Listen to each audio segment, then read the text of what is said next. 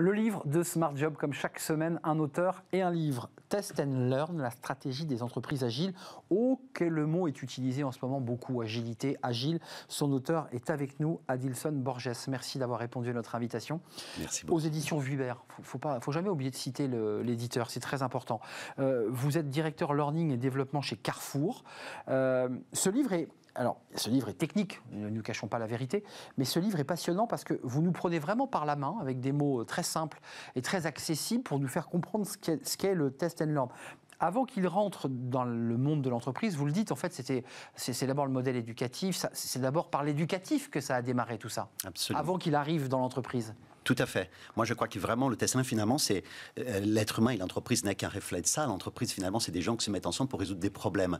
Et bah, euh, je pense que le test and learn, nous, quand on est, on apprend tous les jours par euh, cette stratégie des erreurs. On va, on va faire des petits pas et on va commencer à se développer de cette façon-là. D'ailleurs, j'ai, l'habitude de dire que si on apprenait à, marcher comme on apprend aux enfants dans nos systèmes d'éducation en général à, à, lire je ou à écrire, je m'enlève, je tombe, je Exactement. Et si on apprenait comme on apprend nos systèmes classique, je pense qu'on serait tous à quatre pattes. Hein, depuis, euh, mmh. Et on marcherait à 15 ans parce qu'on n'oserait plus se lever. Exactement, parce qu'il aurait fallu faire encore le cours d'anatomie, je ne sais pas le combien, pour pouvoir avant commencer à mettre vraiment. Oui, vous avez raison, le test and learn, c'est la marche de, de, l'enfant qui a un an, un an et demi, euh, essaie, euh, il va apprendre en, tombant. Exactement.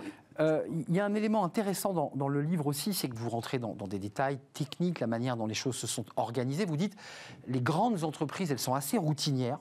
Euh, elles se sont fondées sur une procédure, je vous cite, routinière, des modes opératoires standardisés.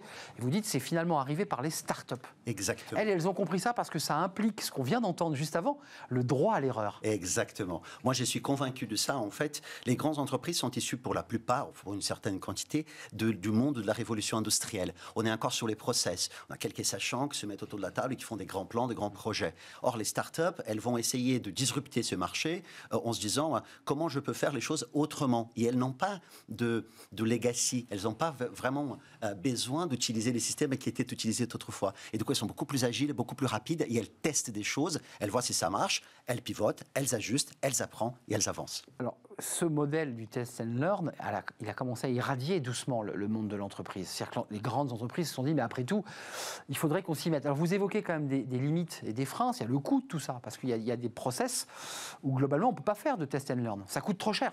Exactement. Je pense qu'il y a, en fait, il y a certaines choses sur lesquelles il est plus difficile de tester que d'autres. Mais ce qui est important, et je pense que c'est là l'intérêt pour l'entreprise, c'est que finalement, le test and réduit aussi le risque. C'est comme quand on va plonger dans la piscine. Plutôt que de se jeter directement dans l'eau, bah, on met le petit doigt et on voit la température. Et ensuite, on plonge. Et ben, c'est la même chose. Si on a des problématiques complexes dans l'entreprise, on peut peut-être réduire le risque en faisant un test sur une petite partie, sur une petite, une sous-partie de la clientèle, par exemple, et voir si notre produit est adopté, s'il est intéressant, si le client l'aime, et ensuite euh, le lancer euh, pour tout le monde. Il y a une anecdote très grand public dans votre livre, alors très accessible, hein, parce que ce livre véritablement est accessible à sa lecture, euh, même si le, le, contenu est, complexe, mais la lecture est aisée.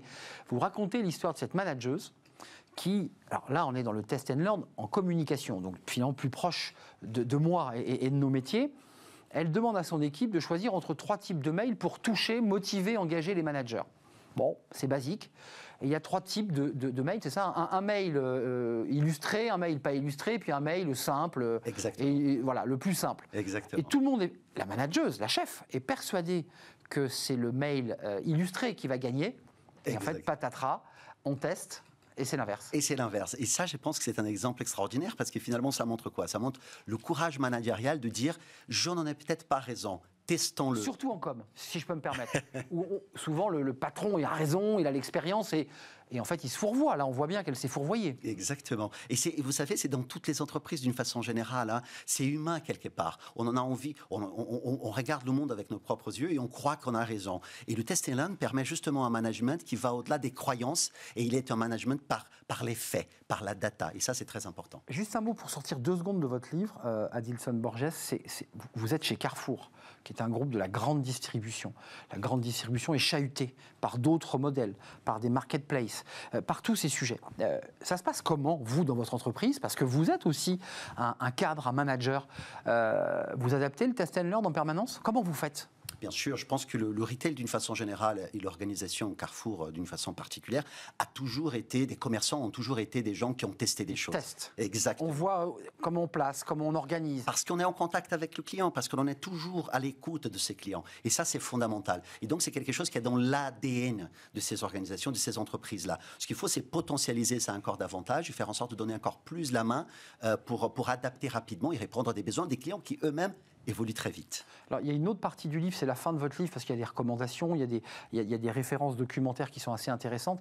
Puis la dernière partie, là, vous dites, attention, il ne faut pas se rater. Parce qu'une fois qu'on est passé dans un test and learn, l'entreprise a utilisé cette culture, et, vous la portez, cette culture, vous dites, il faut aussi euh, faire en sorte qu'on garde le savoir de ces test and learn. Parce que vous dites, finalement, si on ne garde pas euh, l'expérience de l'erreur ou de la, bah, en fait, on va empiler des test and learn toutes les semaines. Exactement. Et ça, c'est un point fondamental. Et on voit malheureusement encore trop souvent beaucoup de tests et peu de learn.